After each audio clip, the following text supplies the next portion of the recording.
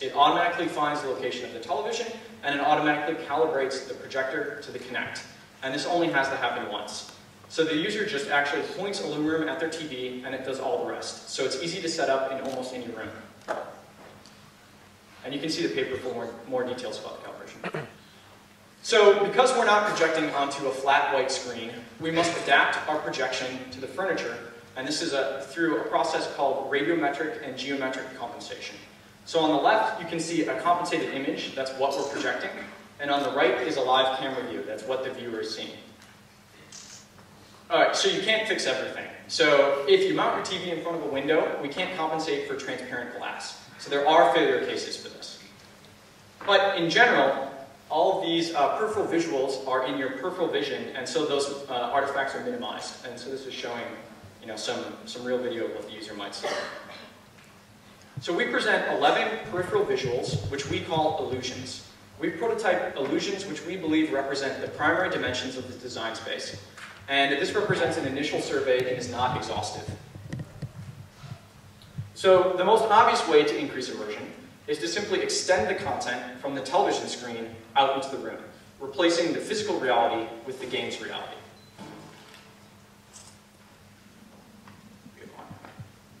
So instead of rendering the full periphery, we can focus only on the high contrast features, for instance, highlighting only the edges.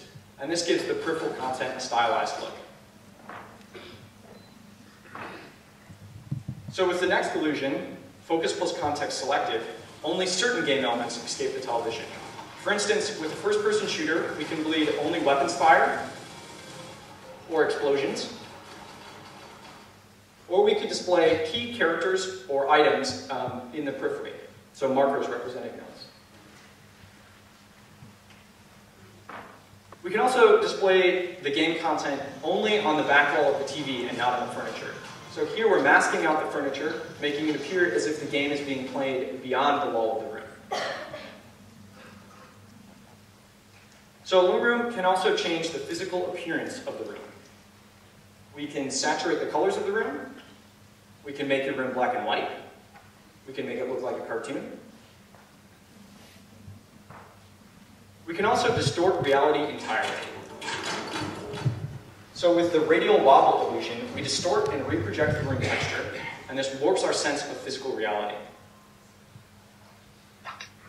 We can also generate completely abstract illusions, which greatly enhance the peripheral motion, but do not borrow content directly from any game.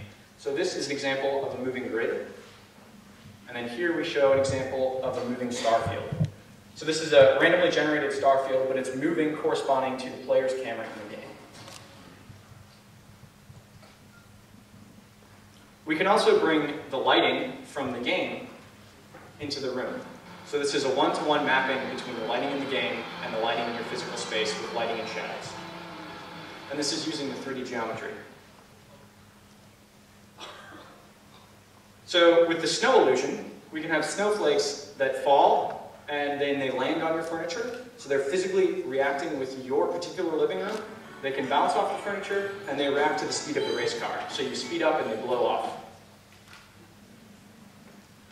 And finally, a game object could fall out of the screen, bounce on your floor, and roll onto your coffee table. So this is a shared physics simulation between the virtual world and the physical world. Finally, all of our illusions can be easily combined with one another, which makes them an easy and flexible design palette for game designers. And so here we're showing three of the illusions paired together. So these illusions can greatly enhance gaming experiences in a variety of ways. So they obviously increase the player's sense of immersion and their sense of presence. They can provide additional, or they, sorry, they can induce apparent motion, so make you feel like you're moving. They can provide additional gaming information. They can provide a sense of atmosphere or theme. And they can support entirely new game mechanics.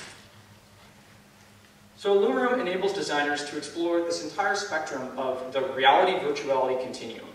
So what this means is, um, basically, you can have the physical environment, your living room, you can do uh, kind of the focus plus context illusions and completely cancel out your physical environment for entirely virtual reality, or anywhere in between.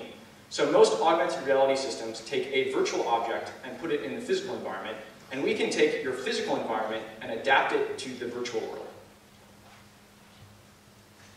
So finally, illusions can be dependent or independent of the underlying game content. So illusions like appearance are completely independent of the game, whereas focus plus context illusions are directly tied to the game content. Okay, so how do you connect these illusions with the game content? We explore a range of options that include building experiences from the ground up and modifying or hacking existing games. So ideally, you have source code access, and Illumiroom is directly integrated through an API. So through this API, you can turn illusions on and off, you can update the position of the game's player, uh, the player's camera, or render a wide field of view camera pass to use with the focus plus context illusions. But for existing games, we don't have source code access. So we can drive these using other, uh, drive these illusions using other means. So for instance, with the grid and the star field illusions, we just need the player's camera motion. And so what we can do is we do a real-time optical flow calculation to derive the camera motion just from the image of the game. And then we can use that to drive these abstract illusions. We can also capture a significant amount of game state just from a game controller. So for instance, if a user is playing a first-person shooter and they press the right trigger button, well then we know that they're probably firing, and then we can trigger a radial wobble illusion. So uh, users could script or mod games to connect controller inputs to illusions.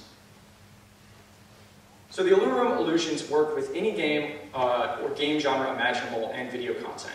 And many of these examples focus on a first-person shooter, and this is simply because there are not many robust open-source uh, games available, and there's this really great game, Red Eclipse, which is an open-source first-person shooter. So this could be applied to a wide variety of game genres, um, and we use that for source code access.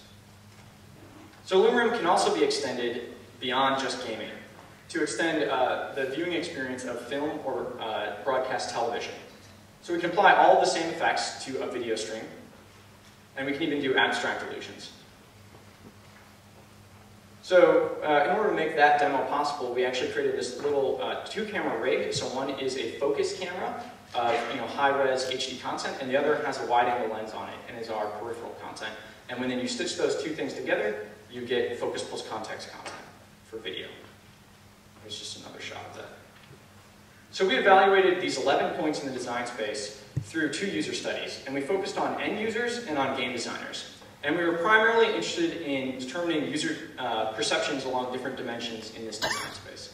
So we first studied uh, 10 gamers or end users, and they had a variety of game playing ability. They interacted with the illusions paired with video game content in a randomized order.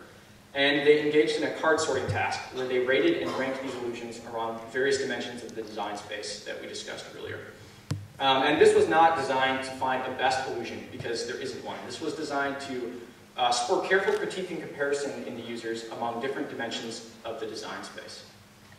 We also conducted a study with 15 professional game designers where we brought them in, showed them the illusions, and then they content. Uh, although some of the users expressed that they were also overwhelming, so there's a lot of information there. And also game designers said that they may not hold up to long-term play. So basically these illusions um, may not be used for uh, extreme long periods of gaming. So a nice middle ground then is this focus plus context selected. So this is bleeding selected elements out into your world. And one user said, you know, out of all these, this would be the most useful and immersive without being distracting. It seems like a nice sweet spot. So the grid and starfield illusions imparted a great sense of motion, however they didn't provide additional game content or information, so they're uh, independent of the underlying game. And some users expressed that, well, if I can have it, I'd rather have a focus plus context illusion and get extra game information as well. So the appearance uh, worked very well. Uh, one user saying, you know, this could just be in my living room all the time, even when a game's not playing. So radial wobble was another magical effect. Uh, however, it distorts the user's physical environment, and so it could be um, off-putting. So basically, this should be used for special emphasis. And game designers uh, emphasize this point that you know things like this should be used for you know, special emphasis and not used all the time. But they can be very powerful when used, seldomly. So participants also like the interplay between the physical and the virtual in the balance of the snow and the lighting illusion. They made them feel really in the game world and created a nice sense of atmosphere. But because these illusions are closely tied to the physical environment, they work uh, well when they're tied closely to the game content. So going forward, we only scratched the surface of what is possible with Illumiroom. We envision many more illusions, including pushing the envelope on what's possible with augmented reality gaming. We also envision many more triggers. So, for instance, imagine watching a James Bond film, and there's an explosion in the film, and that triggers an explosion in your living room. Uh, finally, we uh, want to explore um, more game genres, which I think you already said, and, uh, and also the form factor, the computational requirements, and the cost must be determined before this can be in every in your wor- world. Illumiroom rethinks how we consume entertainment in our living room.